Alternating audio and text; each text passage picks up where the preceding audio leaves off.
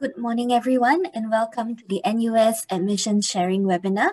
I'm Grace, and I'll be your MC for today. Thank you for taking time to join us. The sharing you will hear today will be presented by the Dean of Admissions, Professor Goh Say Song, and after his presentation, there will be a Q&A segment with Prof. Goh and three NUS students. If you have any questions, we greatly appreciate if you could please write them down in the Q&A tab below, and we'll answer them towards the end of this webinar. Thank you for your patience. So without further ado, let's begin the webinar. Professor Goh Say Song is the Dean of Admissions at NUS.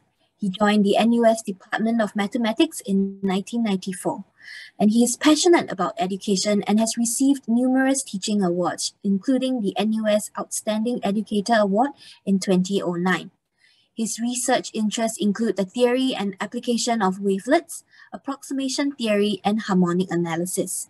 So may I now invite Prof. Goh to share about the NUS experience, important considerations when selecting your course of studies, global opportunities, as well as the process and timeline of admissions application. Prof. Goh, please. Thank you. Uh, thank you, Grace. A very warm welcome to all of you. And uh, we, we, uh, we hope to see you in NUS soon. And uh, first, let me start off by sharing screen and then I'll get my slides up and then we get going.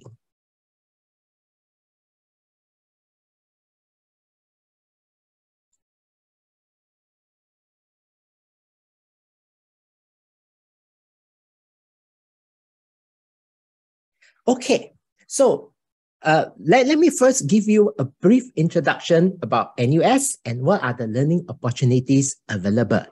And before we do that, let me highlight to you the current paradigm shift in university education.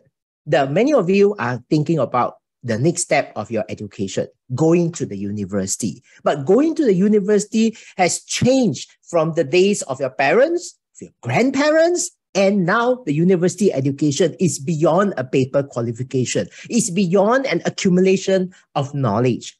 Instead, this is the place where you get to integrate disciplinary knowledge and future ready skills. And in terms of pedagogies, in terms of teaching, it's completely different from what you're going to see in the school or in your JCs or, or in, in high school. And instead, what we're going to have is that instead of only purely lecture and tutorial, there are a wide range of pedagogies. It could be seminar style, it could be lecture and tutorial, it could even be a mix of online and face-to-face learning. And at the same time, we do understand that the world is changing. And because the world is changing, so we need to provide interdisciplinary learning opportunities for you. We need to make sure that you are able to solve the complex problems of tomorrow where different disciplines can have to come together to solve one particular problem. At the same time, we want you to have a global learning opportunities for, for you to see the world and to connect up with different parts of the world. And last but not least, career preparation is of utmost importance to us. We need to make sure that our graduates are well prepared for their career and through in many of our courses, and in fact, most of our courses, there are internship opportunities for you as well.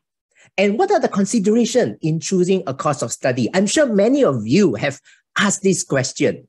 What should I study in the university? And for to answer this question, I think there are two basic questions that I will ask back to you now, what are the two basic questions that I will ask you? That is, what is your passion? What is your aptitude? These are the two most important things that, that I hope you, you take into account when you choose the course of study. Passion and aptitude. If you're good at something, uh, you'll, you'll be passionate about this. On the other hand, if you're passionate about something, most likely this will translate into your attitude in it as well. So these two things are actually well connected.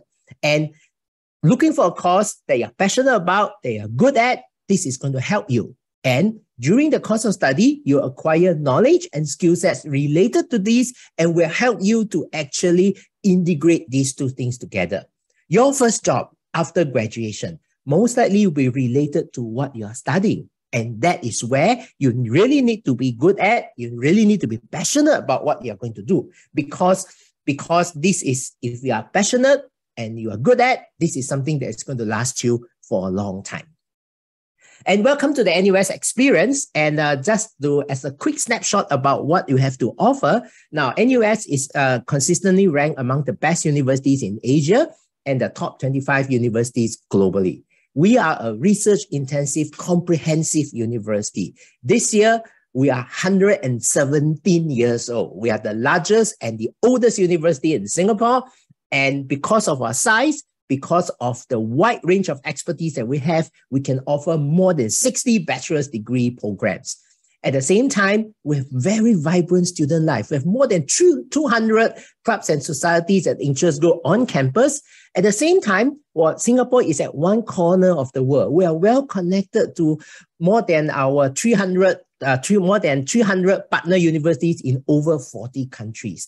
And our graduates are very employable. We are among the top 10 for global employability. And more about the NUS stories. Like I said, NUS is Singapore's first and largest university. We have taught generations of architects, doctors, engineers, lawyers, entrepreneurs, writers, scientists, and so on and so forth. And being a research intensive university, our research impacts lives as well. And we are just getting started.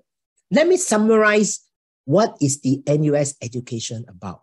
I can summarize this as the three C's of NUS education customizable, challenging, and current. How you're going to make it work, that is entirely up to you. And the first thing you do when you apply to the university, choose a course of study, choose an academic pathway. Now, so what are the courses that we offer? Now, if you're interested in humanities and sciences, you can apply to the humanities and sciences course and you can pick any of the majors under them. You can major in arts and social sciences, you can do a major in science, or you can even look at something that we call a cross-disciplinary program that integrates two areas together, like for example, data science and economics. And we integrate everything together for you as a package. If you are interested in design and engineering, apply for a major in uh, design in the, the College of Design and Engineering you can do a major in design or you can make, do a major in engineering. And you notice that in terms of engineering, you just need to apply to the course engineering. There are many, many majors in all different areas of engineering. Under that course, you can embark on any one of them. And the moment you are in the engineering course, you can choose any of these. No, no further selection. Our School of Business actually is very strong. We offer three different courses, accountancy, business administration, and real estate. Our School of Computing offer four different kinds of courses in computing, business analytics, computer science, information security, and information systems. At the same time, we have professional courses like medicine, dentistry, and law.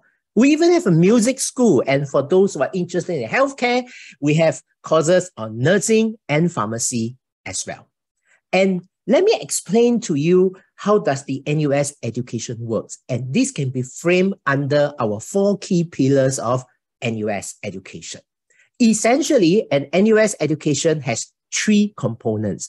The first component is what we call the major requirements and that is roughly about one third of the course uh, of the modules that you're going to study.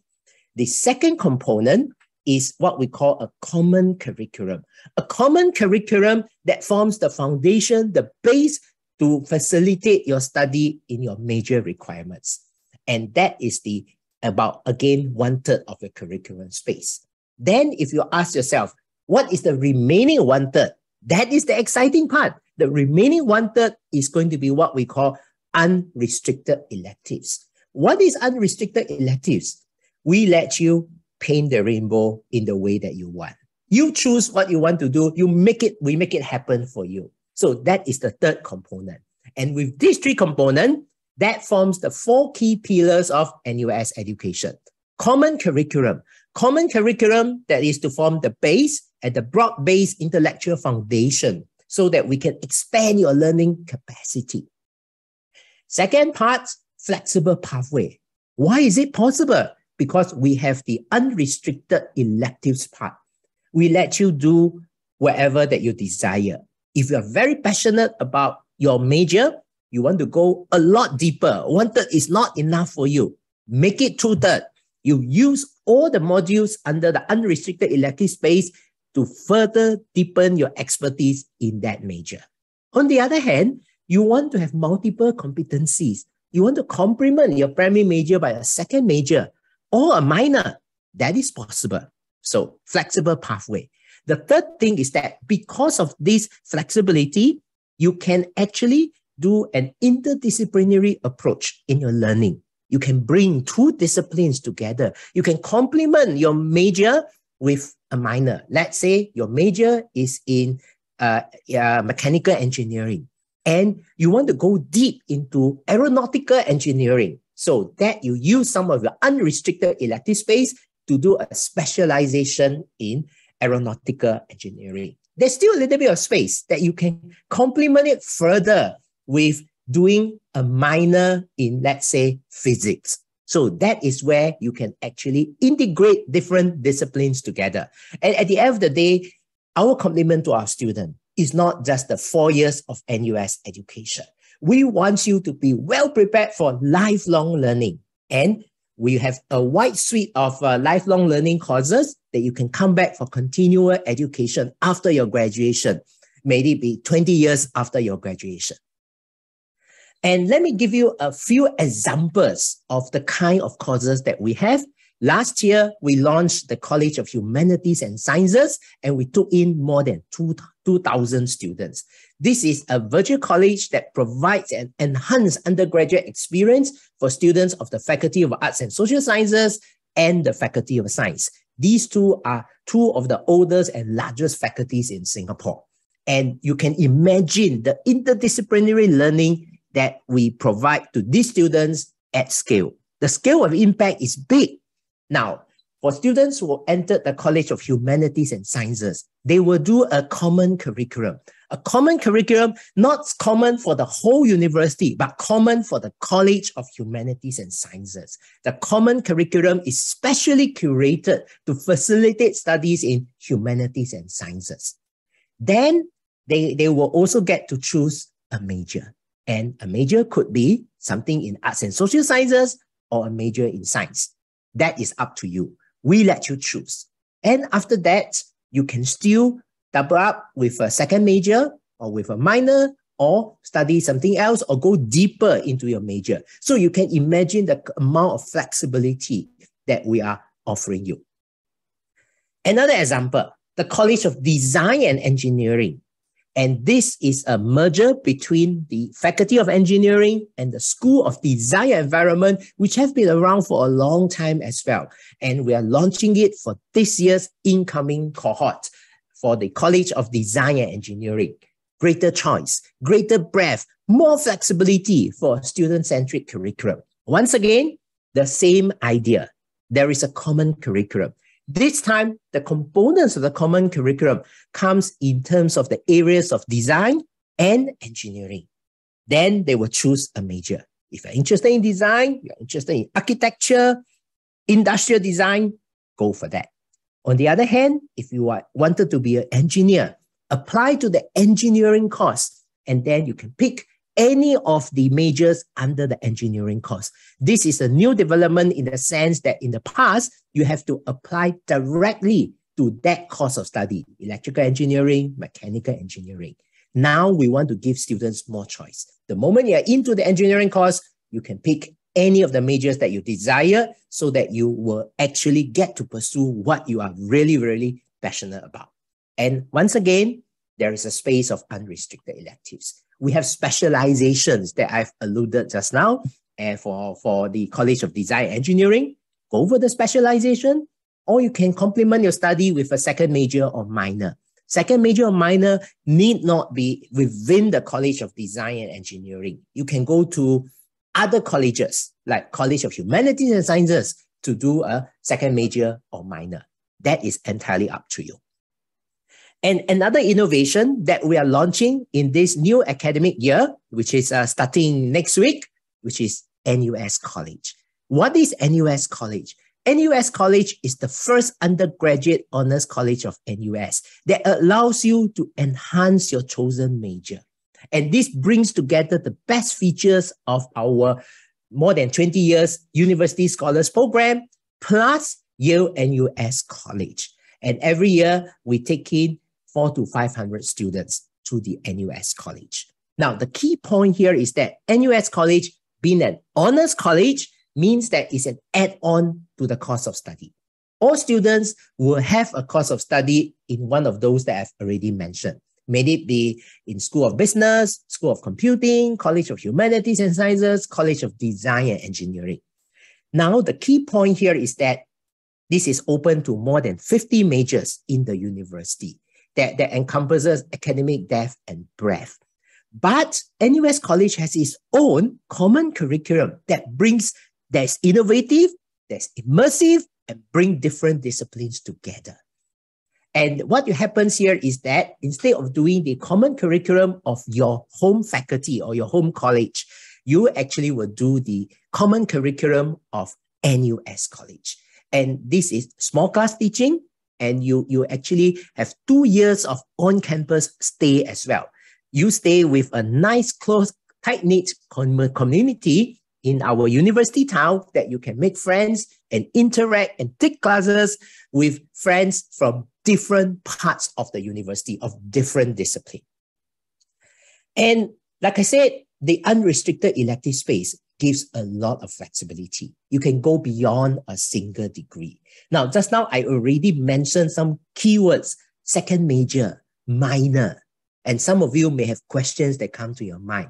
What is a second major? What is a minor? What is the difference between this versus a primary major?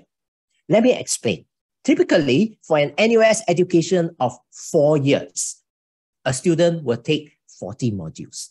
One year, they will take 10 modules. So the currency is, mod, is modules. And for major requirements, which is roughly about one third of the curriculum space, it ranges between 15 to 20 modules, depending on the, the school or the college that you are in. So it's 15 to 20 modules. Most of them is 15 modules. So major requirement, primary requirement, 15 modules. Second major requirement, less intensity, 10 modules. Minor, five modules. So you can actually see that it is possible for you to complement your study using your unrestricted elective space to construct a second major or a minor. And the good news is that we are very flexible at the point of application, you can apply for a double major combination, a major minor combination. We will give it to you. On the other hand, some of you may say that I want to explore my NUS education first. Then I decide whether I want to pick up a second major or minor. Can I do that? No problem. You can do that as well.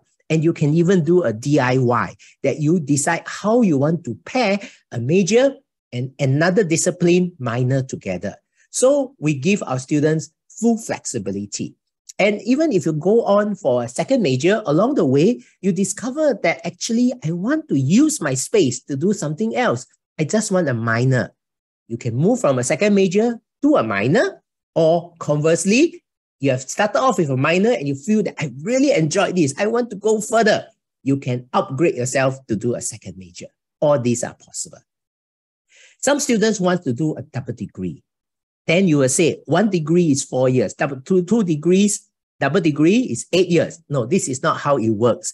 What happened is that depending on the college you are in, you can get two undergraduate degrees ranging from four to five years. Like, for example, in the College of Humanities and Sciences, for certain disciplines, certain combination, by leveraging on the common curriculum, you can get a Bachelor of Social Science degree and a Bachelor of Science degree together within four years. That is also possible.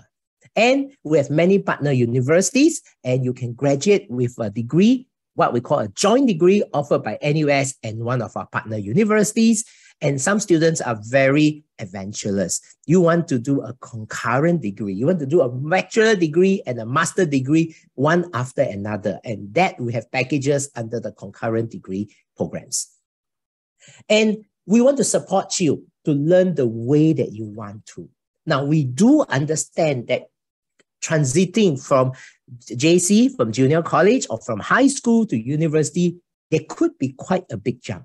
And for the boys who are serving national service, it may take a while to get used from national service life to university life as well. We want to smooth out this transition for you. We also want you to try courses without worrying about the grades. And that is what we call our grade free first year. Some students wanted to try something. Some students takes time to get used to university life. Don't worry. In your module, as long as you pass the module, you can opt for what we call an SU option. Option S for satisfactory, U for unsatisfactory. The moment you pass, you get a satisfactory, and the grade will not count towards your graduation. But the, the modular credit that you've accumulated by passing the modules will count towards your graduation requirement. What happens if you like the grade? Please keep the grade. Okay, and this can help you to, to to count towards the grade, uh, grade point average for your final graduation. Now, some students aspire to do research. Some students have opportunities to do research uh, in the JC and you enjoy the experience. In the university, do you have this opportunity to do research? The answer is yes. Now, many students say that I will get to do research in my final year. It doesn't have to wait until the final year. In year two, year three, we have what we call the undergraduate research pro- program. You can approach one of the professors that you like and you approach him that say that I would like to work together with you in the lab. And this can be formulated under an undergraduate research program. And this again can be counted towards the graduation requirement. We do recognize that there are some modules that you, you're very passionate about that we may not have it we have opportunity for you to design your own module. You can customize your own learning experience. Get a few friends together, approach a professor, and then you can design the modules yourself. And then this can be a, a very fulfilling self-directed learning experience. And like I said, many students want to see the world through our university education. Take advantage of our global learning opportunities. Learn out of your comfort zone. You know, you can develop personal life skills. You can expand the scope of your learning and you apply it to the real world problem. So here is a snapshot and overview of how you can make the world your classroom. Our flagship student exchange program that you can actually spend one semester or one year in one of our more than 300 partner universities. And the, some questions that come to your mind is that if I go and spend one semester in a partner university, does it mean that I will graduate one semester later? The answer is no. Under the student exchange program framework, before you go and spend one semester or one year in a partner university, you will talk to an academic advisor in your home faculty and we will map out the modules that you take from your your your uh, your exchange universities towards your graduation requirement so that it is possible for you to graduate at the same time. Second question Is it very expensive to pay for the overseas university school fees? The good news is that if you go for a student exchange program, the fees that you will still be still be paying would be NUS school fees, which is uh, which is well subsidized by the Singapore government under the MOE tuition grant. Some students will say spending one semester or one year is too long. I want to have a taste of going abroad and can I have a shorter duration? We have what we call summer and winter programs, shorter duration than student exchange program, and you can spend three to six weeks in a partner university taking some classes. Those of you who are very passionate about research, you can do a research attachment in renowned labs in overseas university. And another highlight that we have, which is uniquely NUS, is what we call the NUS Overseas Colleges. So let me explain what is this NOC.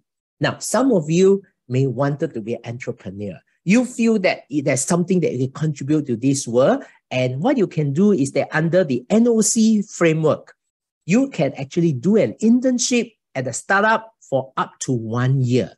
This is a very successful program that we have in, in NUS. You work in a startup as an intern and you take some entrepreneur classes in our partner universities. And at the end of the day, there are many students actually come back and founded their own companies. And just for record, more than 3,400 NOC students and alumni have gone through the program. And through this process, more than 800 companies has been founded. You get to experience the first-hand experience, uh, first-hand experience as life of an entrepreneur. So here are the different places that we have NOCs, NUS overseas colleges. You can go to North America, Silicon Valley, New York. You can uh, do it in Europe or Middle East or China or Southeast Asia. And there are all these different places that you can actually experience life as an entrepreneur. Now, some of you may say that does it mean that I really, really need to go overseas before I can uh, find all the exciting parts of NUS education? Not to worry, that is not the case. Our campus itself is already very, very interesting and very exciting. You can make yourself home at the campus. And campus accommodation has really grown in the past few years. In the past, in the old days, NUS only have what we call the traditional halls of residence. Sheares Hall, Raffles Hall, Yusof Ishak Halls. Some of your parents, if they are NUS graduate, probably they have stayed in these halls of residence as well.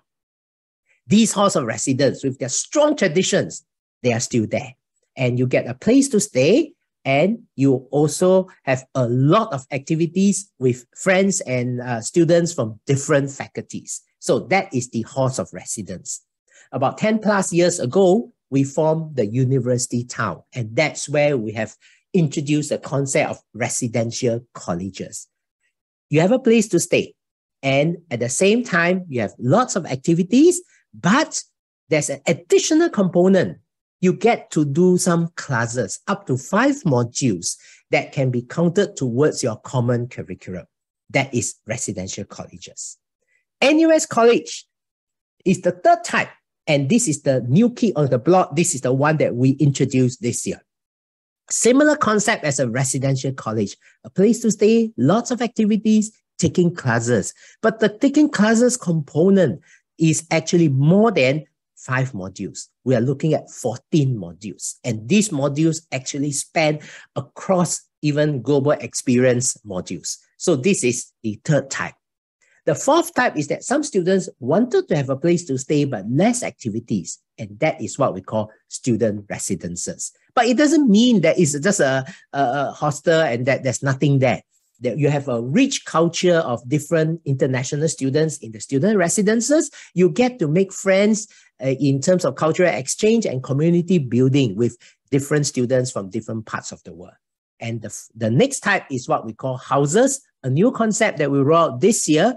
And this actually again has a place to stay. They have activities, but this focus on co-creation of a of a safe space for you, and you take in uh, for peer mentoring. And there are a lot of initiative that you can bottom up initiative that you can start off with. So these are the five different types of uh, halls of residence. And our campus life is very very uh, vibrant. You get to connect with like-minded peers. You can embark on music, arts and culture, sports, community service, or you can even start your own special interest group. And like I said, we want to prepare you for future employment. We have a Center for Future Ready Graduates that actually organizes programs, workshops, events to prepare you for employment. NUS is 117 years old. We have a lot of alumni. And think of it this way Is it possible for you to interact and network with our alumni in the industry for career planning and job opportunities. We have a platform called NUS Connect that allows you to do this. We also want to facilitate you to do internship. Most of our courses, we have internship, either compulsory or optional internships, but all can be counted towards your graduation requirement. And we also have a platform for you to, to engage in internship search and internship opportunities. So after explaining all this, how do we apply to the university? The first thing is that we need to identify the admission requirements for the qualifications that you are presenting. Now, for students in the junior college, you'll be presenting the GCE, Singapore Cambridge GCE A levels qualifications. Some students in the IB schools will be presenting the IB qualifications. They are students in today's webinar that are from overseas. Then you have different types of international qualifications. And uh, from different parts of the world, like Indian 12, Gaokao, uh, uh, Canadian high school, Australian high school, and so on and so forth. Please go to our website and look for the qualifications they are in, and you can actually find all the admission requirements. So for today's, I will highlight two of the more common ones uh, that are for the local students, that is the Singapore Cambridge GCE A levels and the IB our admission process is based on academic merit and meeting subject prerequisite. The, so please take a look at the subject prerequisite that we have to uh, for a course that you're interested in. This is to make sure that you have the necessary background to actually embark on this course of study. Like for example, if you're interested in pharmacy or pharmaceutical science, chemistry is very important. So make sure that you have the H2 chemistry before you apply. Assessment is based on six Singapore Cambridge GCE A-level subject, three H2 and one H1, GP or knowledge inquiry, project work, and you have to pass the mother tongue requirement. What is unique about NUS admission application is that we do provide bonus point for first choice course. Remember, I highlighted in the beginning that we, we want students to be passionate about something. We want to recognize and support you for your passion. So the course that you put out as a first choice, you will get a bonus point of up to 2.5 bonus point for GCE A levels for all the courses that do not require interviews or additional tests.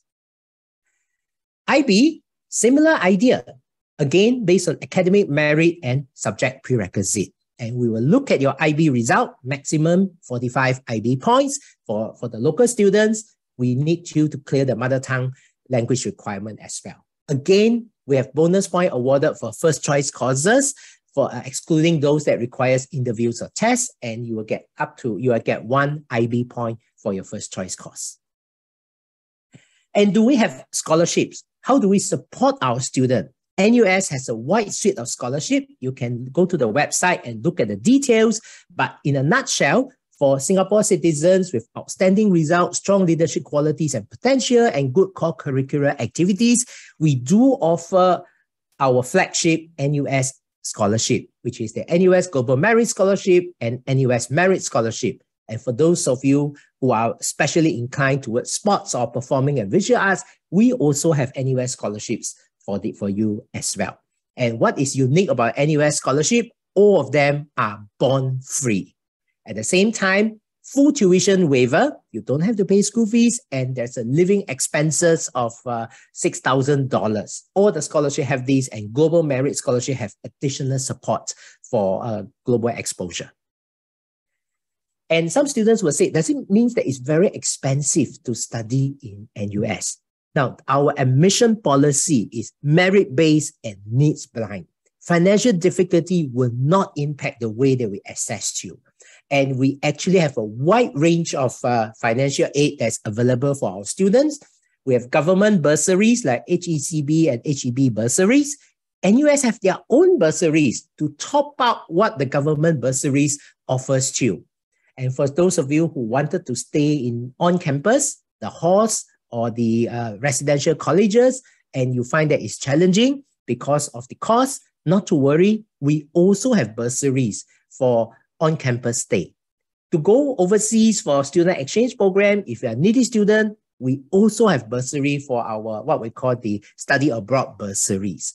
At the same time, if all this support is not sufficient, we still have tuition fee loan, we have our own NUS study loan and student assistance loan. And you can estimate the expenses for our based on our financial needs calculator on our website.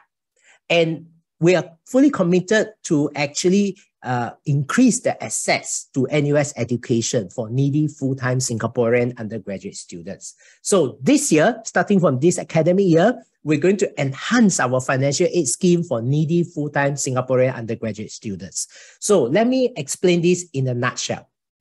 The per capita income, that means the total income in the family divided by the number of members in your family if the PCI is not more than a thousand dollars, NUS bursary, you, you will get government bursary to defray some of the cost of the tuition fees at the same time. But if it's not enough, NUS bursary will top up everything for you so that there will be full coverage of tuition fees. So you don't have to pay any tuition fees. If your PCI is not more than 690, not only you have full coverage of tuition fees, we will provide you with $4,000 per year for living expenses. At the same time, we want you to have a full fledged of the NUS education with possibly of one semester or one year of on-campus stay, plus an overseas program exposure. That we already have bursaries, but some students find that it's not enough. So for students with PCI not more than 690, we have the opportunity enhancement grant. They will top up the financial aid for you as well. And in a nutshell, show us your strength when you apply for admission. We want to take into account your interest and the passion. Choose your course wisely so that you can make good use of the first choice bonus point. At the same time, if you if you find that your rank points may not be enough, but you have other abilities, we recognize them under our aptitude-based admission. We look at your ability, your interests, your leadership, your community service, your exceptional talent. Fill up the information under the achievement section. So this is a to-do list uh, checklist. Mark down the important dates. Look at the subject prerequisite, you know, and uh, you can apply for admission. At the same time, you can apply for scholarship. You can also apply for financial aid. Three different portals for you to apply. And this is the timeline. Different qualifications has different timeline. Again, check our website. Like for example, for Singapore Cambridge A-level students, you can start applying after the release of A-level results, probably around 24th of February for admission, financial aid, and scholarship. Then the portal will close on 19th of March. And then from March to May, we will release the outcome of admission from scholarship and uh, financial aid as well. For IB students, the portal opens earlier. As early as mid-October, you can already apply for admission and financial aid. Scholarship portal will uh, open in February. Again, the, when it close, we start to assess and then we roll out the offer until around May. So if you need more information, please visit our website or you can send in inquiries under nus.edu stroke ask admissions. Thank you very much. And uh, I will stop here. Thank you, Prof. Goh, for your sharing. We will now move on to the Q&A segment.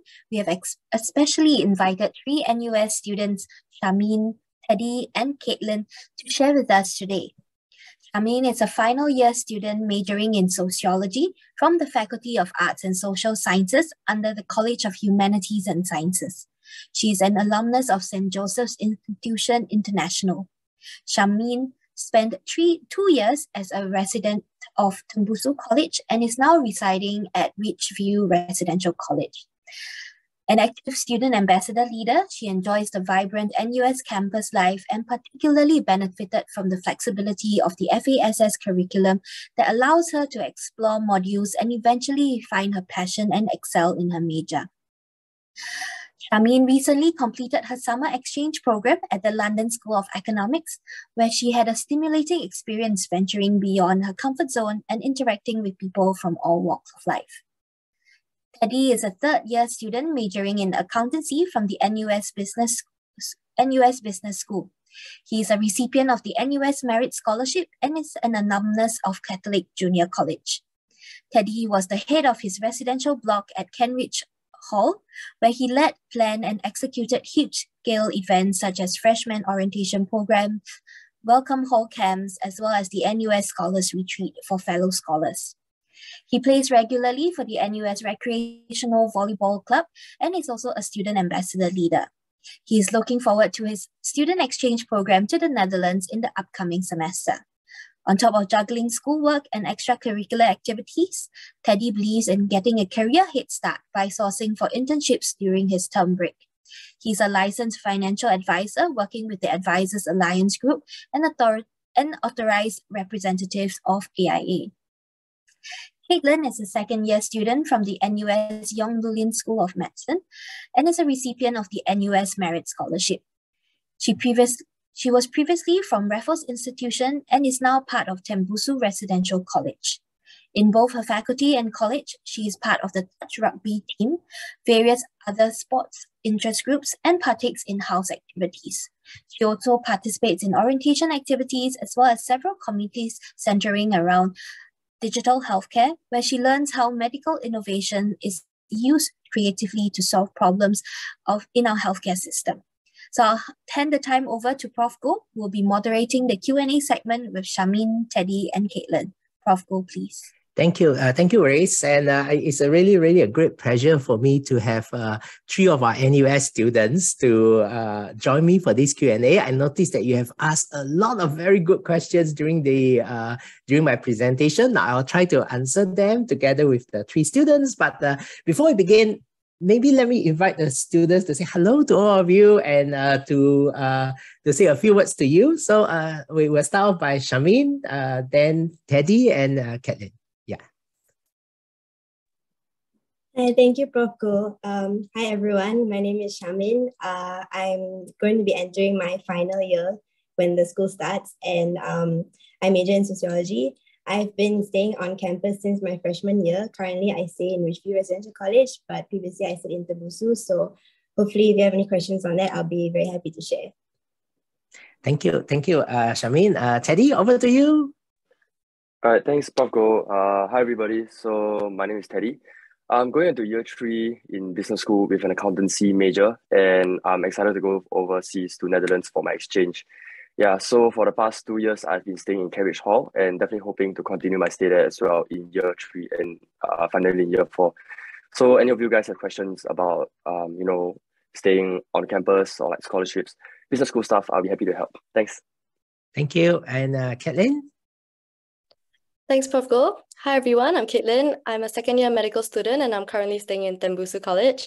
So I guess a bit about me is that, yeah, I play touch rugby and I'm also interested in medical innovation. So NUS has a lot of opportunities to pursue their interests. So I'm co-president of the Medical Grand Challenge and also part of the Mindline youth team. And overall, I've had a really, really wonderful time in NUS and I've really enjoyed my time here. Thank you. Okay, thank you. And uh, I and I, I noticed that there are a lot of questions coming in, and uh, there are some questions about academic matters. But there's one part that I have not had a chance to talk a lot. That is about student life on campus, and uh, uh and uh, the the three students here, all of them have stayed on campus before. And uh, in fact, uh, Shamin has uh, stayed at two different places, Tembusu College and Ridgeview. So maybe I'll get uh, uh, our students to share more about, you know, accommodation and uh, campus life and uh, NCCAs. So uh, Shamin, would you like to tell us more about Tembusu and uh, Ridgeview? Uh, well, it's really been like quite an experience being in two colleges. Um, they're very different, but they're both really just like similarly exciting. I think Tembusu was a good um, start for me because um, one one um, special thing about the about the RCs at UTown is that they have suites. So like I stayed in the suite, so it was a good like it was a good way to make friends quickly and like easily because you're like living in close proximity with people.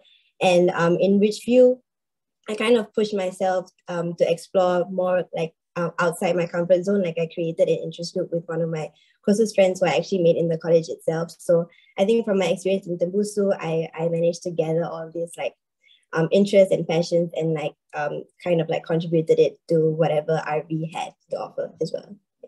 Mm-hmm, mm-hmm. That's that's very nice.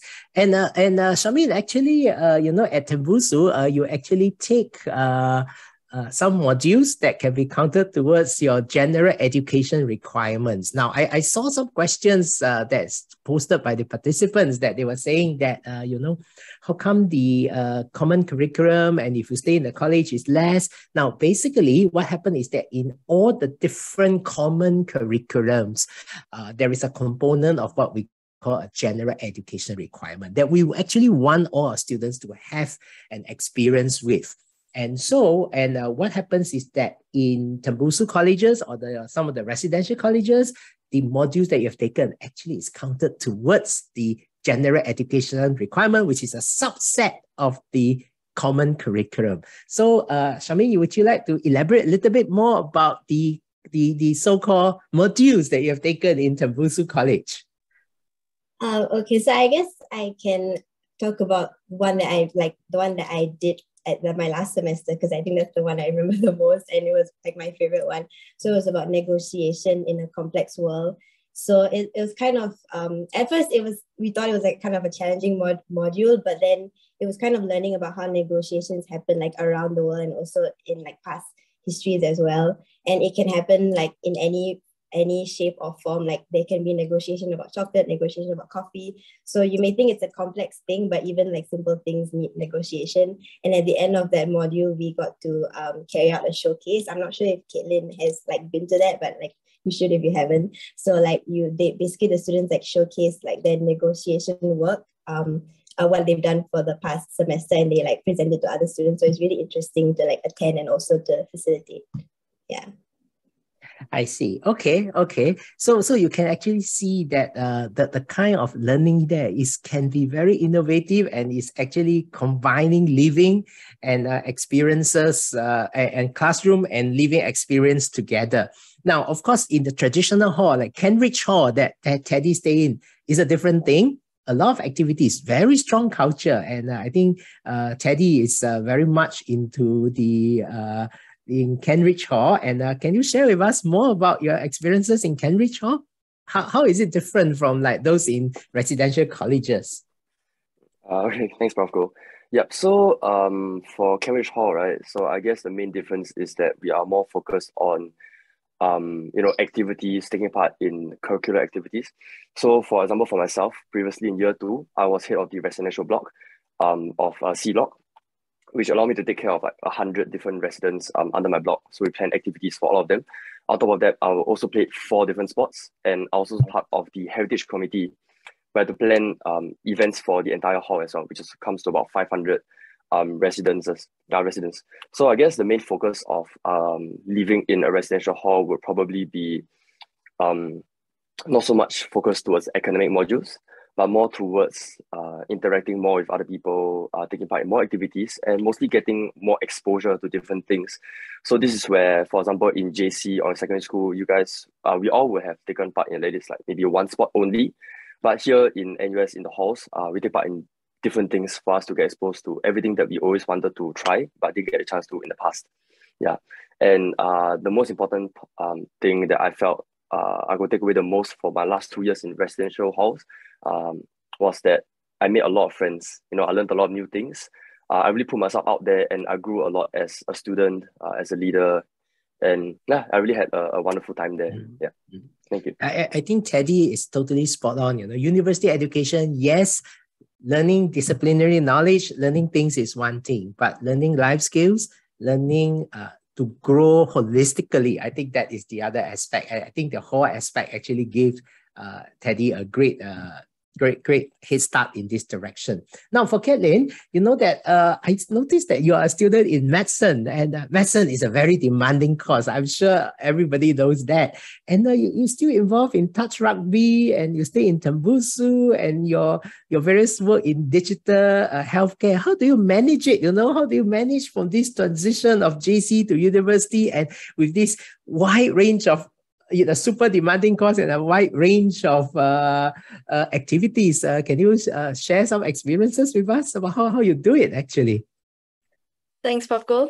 So I know this is probably a concern that those of you coming to medicine may have because you hear it's like, oh, it's very stressful, it takes a lot of work. But I think the question isn't so much like, oh, how do you manage it? How do you strike a balance? But more of like, what sort of balance do you want to strike? Because honestly, in NUS, and because I stay in residential college as well, there are so many things to do. There's so many activities to take part in.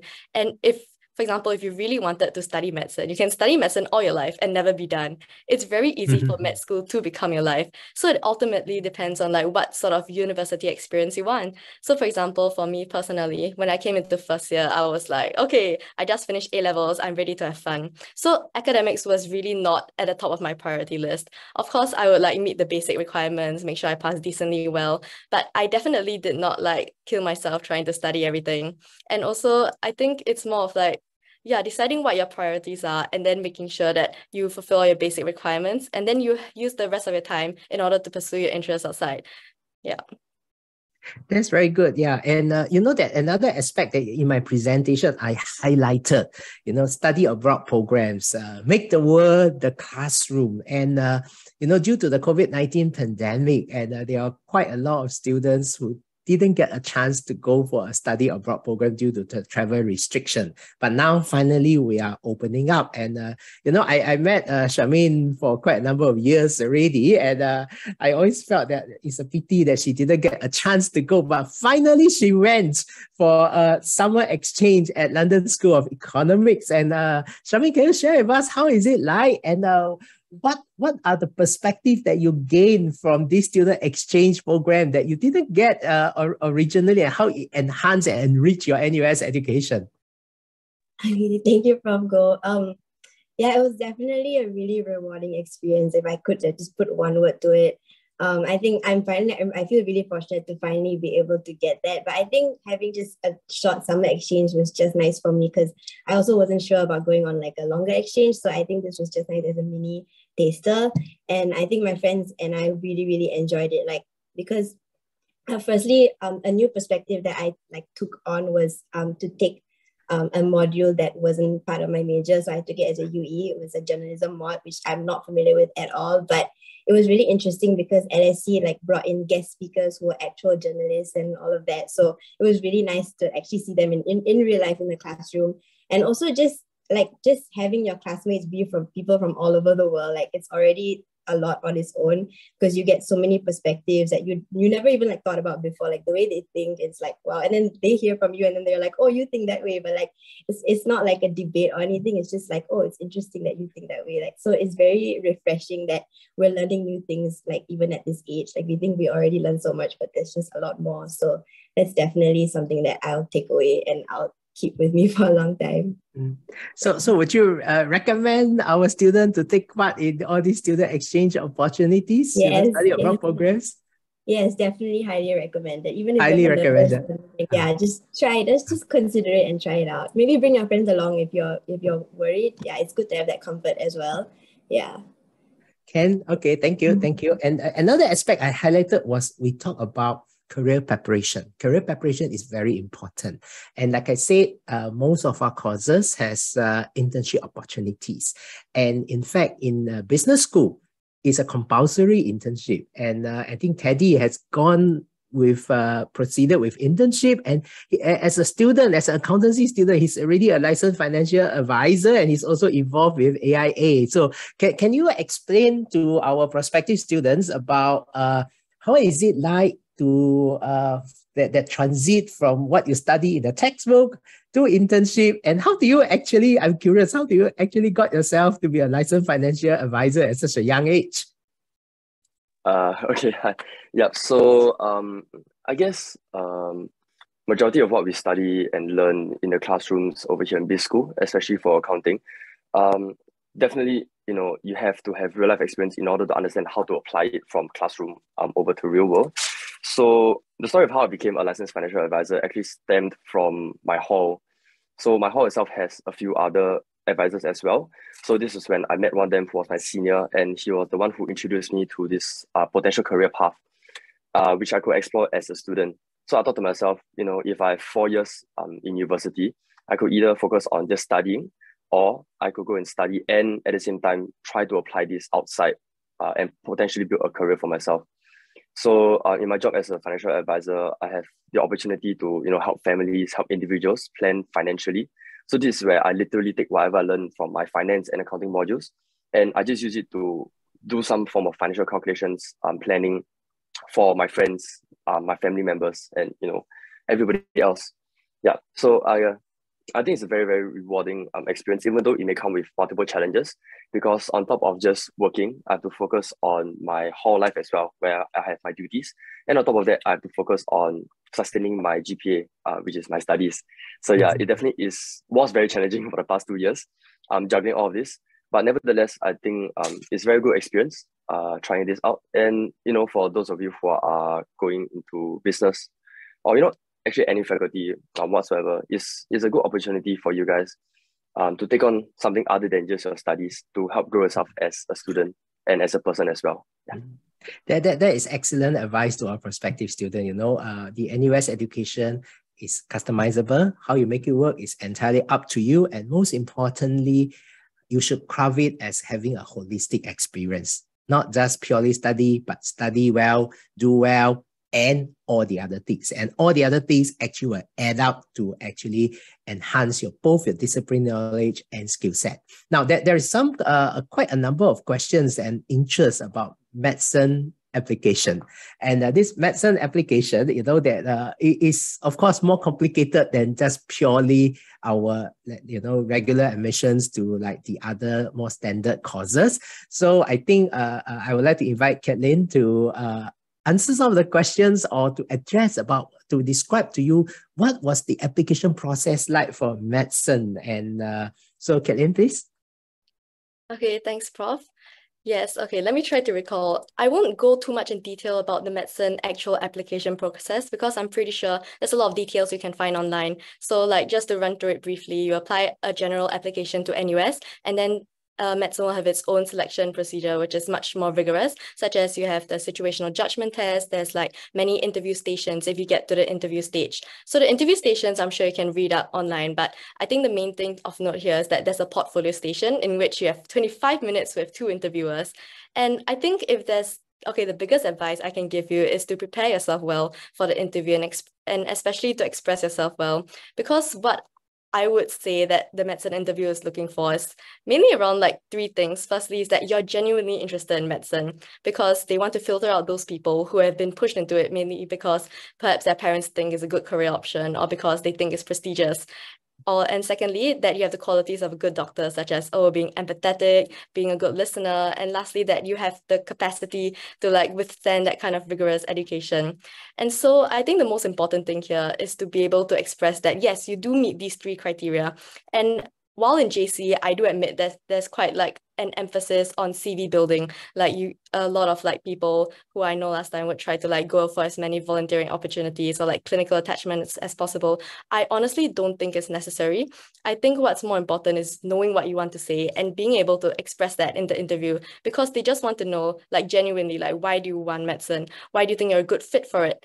And you don't need like 10 volunteering opportunities to prove it. You just need to be able to like reflect very well about one volunteering experience. Like how has it impacted you? How has it change what you think and being able to show like um your true like passion your compassion your maturity of thought i think that is what would impress the interviewers most and make the biggest difference at the end of the day Thank you. Thank you, Kathleen. I think uh, what you have summarized very aptly, you know, uh, this is not about CV building. And uh, in fact, some students wanted to be considered under aptitude-based admission. And there was always questions about how can we ace the aptitude-based admission. Now, I think at the end of the day, you have to genuinely portray that you have the aptitude and you have the passion for that course that you're applying to. I think that is the key pack here. And I think due to, uh, and I think there are a lot of other good questions, but unfortunately due to time constraint, and there are a lot of other exciting sessions for the rest of the day with the faculties. So uh, I will uh, end this Q&A here and uh, and I just want to have uh, wish all of you uh, all the very best for your studies. And we look forward to receiving your applications to NUS. I'll pass time, time back to Grace. Thank you, Prof. Goh, Shamin, Teddy, and Caitlin for sharing your experience, insights, and sound advice. I hope they have managed to answer your questions and clarify your doubts. With that, we have come to the end of the admission sharing and Q&A. Thank you so much for taking time to join us today, and we hope this session has been helpful. We also greatly appreciate if you could take a few minutes to fill up a feedback form. You may scan the QR code or access the link that we have shared in the chat board. Your feedback is important to us, so please let us know how we can improve. If you have yet to sign up for the admissions and faculty sharing next Saturday, 6th of August, do register and hear from the respective NUS colleges, faculties, and schools. You may register via the QR code or the link provided. So thank you once again, and my colleagues and I look forward to receiving your application and warmly welcoming you to NUS. Have a great day ahead. Goodbye.